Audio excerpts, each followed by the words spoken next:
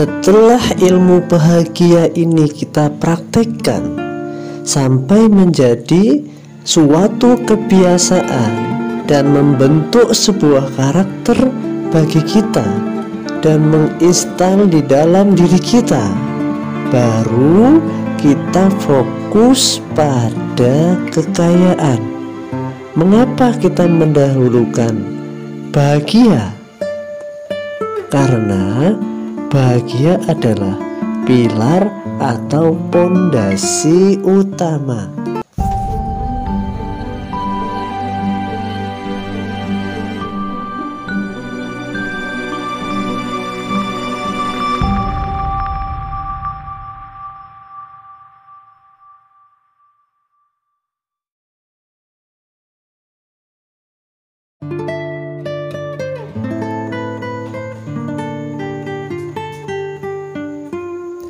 Assalamualaikum warahmatullahi wabarakatuh.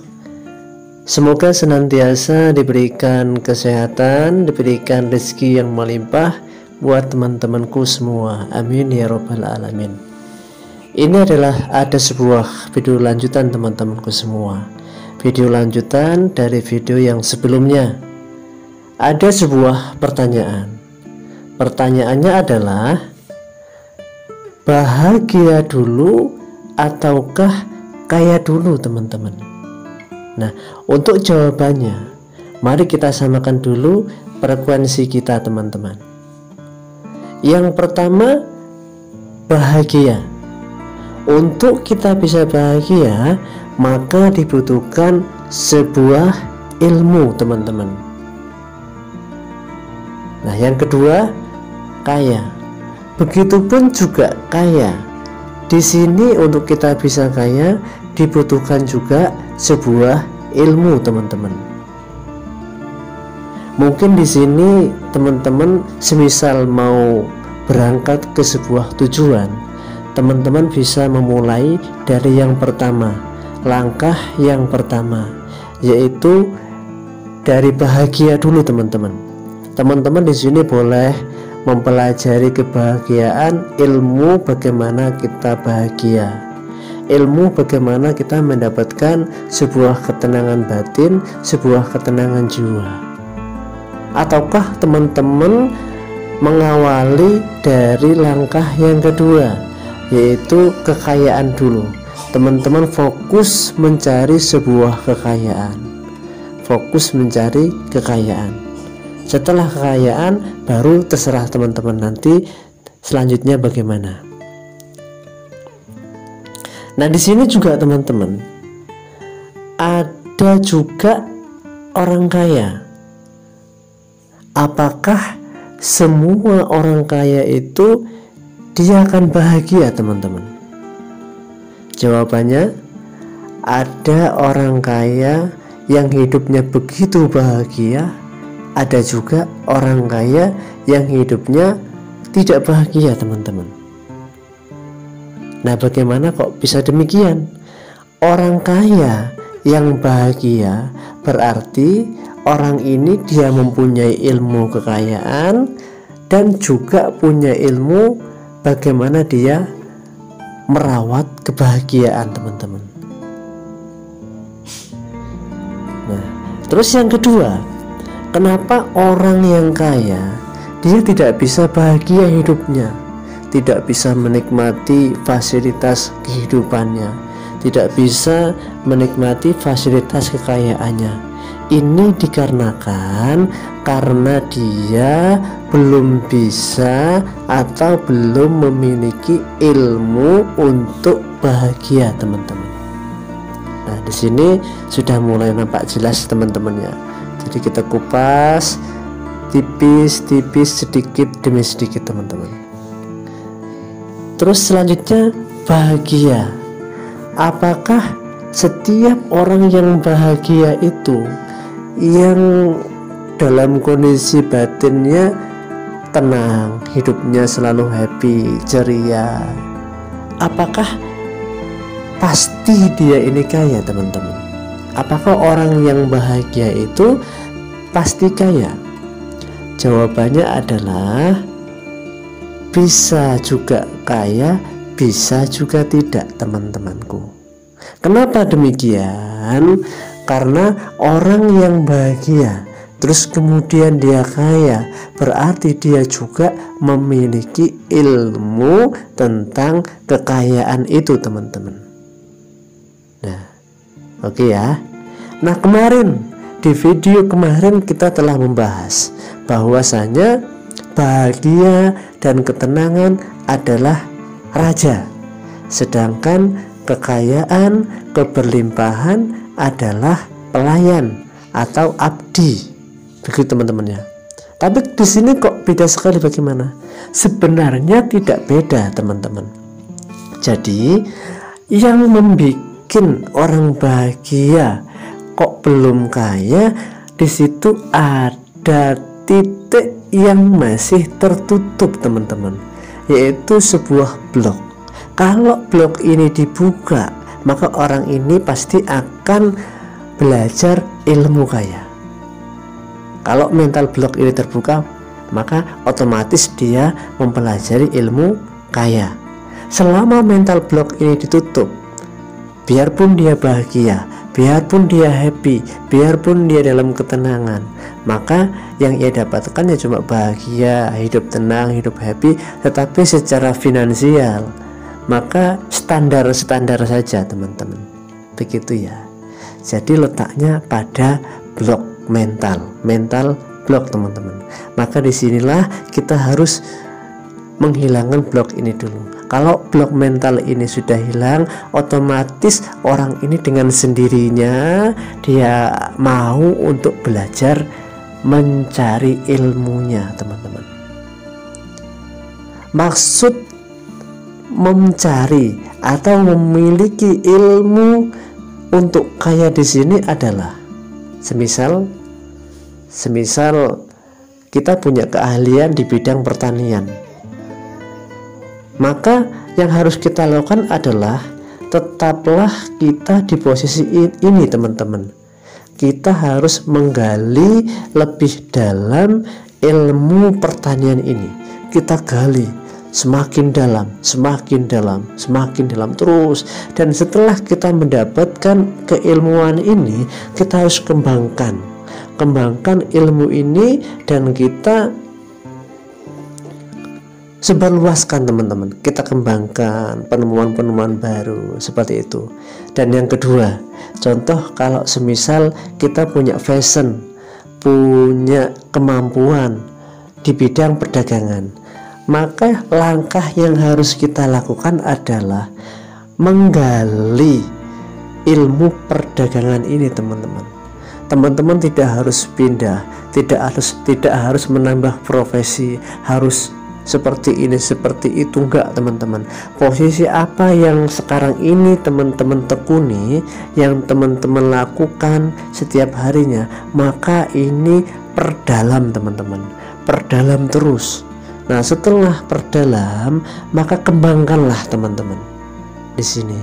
Nanti akan muncul sebuah pintu keajaiban dari Allah. Nah contoh yang ketiga. Semisal kita punya fashion bisnis teman-teman bisnis online atau bisnis apa pun yang berhubungan dengan manajemen dan lain sebagainya maka tetaplah di posisi ini teman-teman. Gali lebih dalam tentang bisnis Anda bisnis yang teman-teman geluti saat ini. Setelah itu kembangkanlah teman-teman.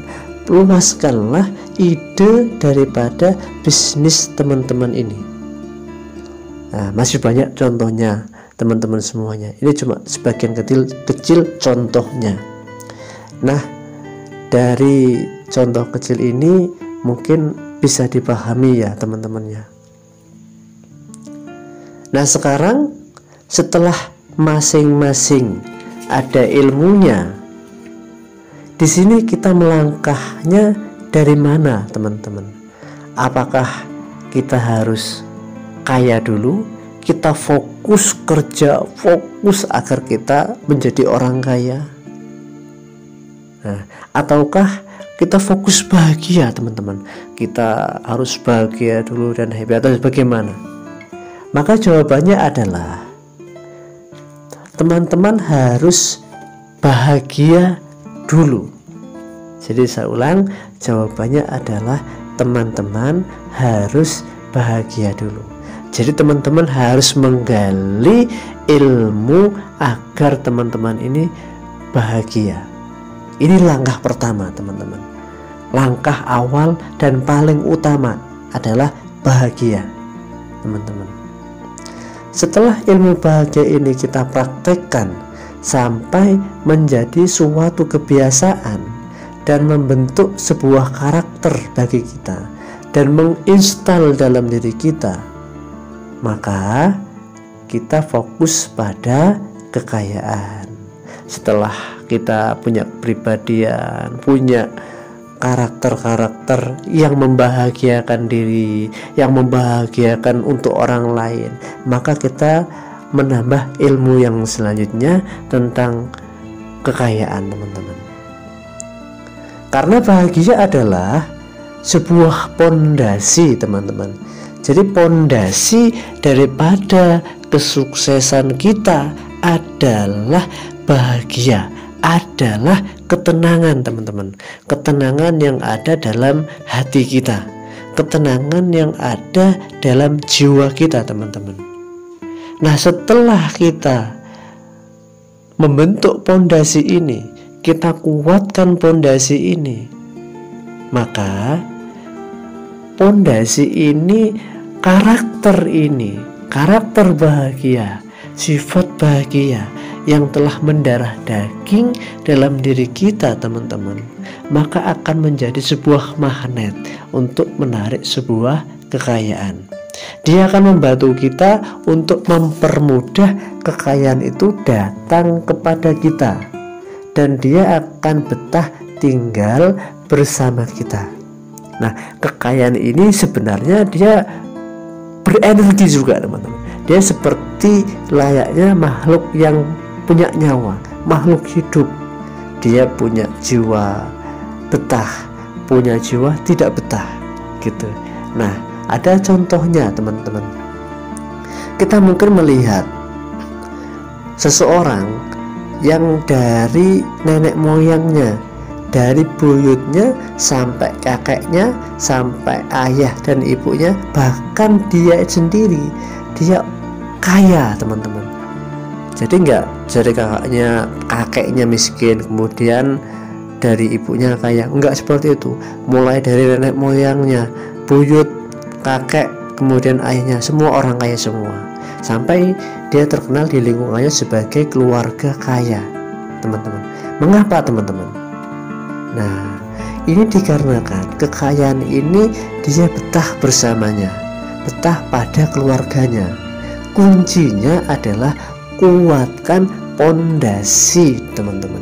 Jadi pondasinya adalah kebahagiaan dan ketenangan. Nah pilar dulu baru teras atau atap rumah. Artinya kuatkan bahagia dalam diri kita dulu dan ketenangan baru kita membangun kekayaan untuk lebih lengkapnya, teman-teman bisa menyimak video sebelumnya. Nah, kira-kira teman-teman masih ingat gak? Masih ingat tentang tujuan hidup? Tujuan hidup. Nah, teman-teman bisa buka lagi tentang tujuan di sana, teman-teman. Nah, teman-teman, siapakah kira-kira yang memiliki dan yang memberikan kebahagiaan? Datangnya dari mana? Pemilik kebahagiaan ini yang menciptakan ini sebenarnya siapa? Yang kedua siapakah yang memiliki ketenangan ini teman-teman yang menciptakan ketenangan dan yang memberikan ketenangan kepada semua makhluk kepada makhluk yang nomor tiga siapakah yang memiliki dan yang memberikan kekayaan. Nah, ini teman-teman, siapakah yang memiliki dan memberikan kekayaan, menjadikan orang yang tadinya belum kaya menjadi kaya? Ini siapa, teman-teman? Dan siapakah yang menciptakan dan menggerakkan law atau hukum law of attraction kita bisa berhasil teman-teman jawabannya adalah Allah subhanahu wa ta'ala sang pemilik cahaya dan yang menyalakan cahaya ilmu di hati kita teman-teman maka mulai hari ini kita niatkan di hati tujuan kita adalah yang memberi kita sebuah kebahagiaan. Niatkan di hati, tujuan kita adalah yang memberi kita ketenangan dan yang memberikan kita kekayaan, teman-teman. Sebenarnya Allah mencakup semuanya, mencakup seluruh alam semesta dan seisinya. Jadi, sudah cukup bagi kita menjadikan Allah adalah tujuan menjadikan dia sebagai sandaran dan menjadikan dia sebagai pelindung teman-teman apakah butuh ketenangan teman-teman apakah butuh kebahagiaan jawabnya adalah ketika kita membutuhkan kebahagiaan, ketika kita membutuhkan sebuah ketenangan, maka jawabnya adalah kita harus mendekat kepada yang menciptakan kebahagiaan itu, teman-teman. Nah, ini sesuai dengan firman-Nya. Ala bidzikrillahi tatmainnul qulub.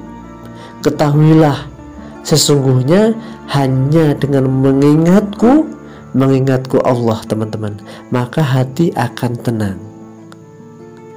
Masih ingatkah teman-teman bahwa di dalam ketenangan tersimpan sebuah kebahagiaan? Jadi kunci kebahagiaan lahir dan kebahagiaan batin adalah Allah Subhanahu wa taala kunci kekayaan lahir dan kekayaan batin adalah Allah Subhanahu wa taala yang telah menciptakan kekayaan, yang telah menciptakan kebahagiaan, yang kemudian memberikan itu kepada kita semua teman-teman. Semoga keterangan singkat ini bisa bermanfaat untuk kita semuanya. Assalamualaikum warahmatullahi wabarakatuh.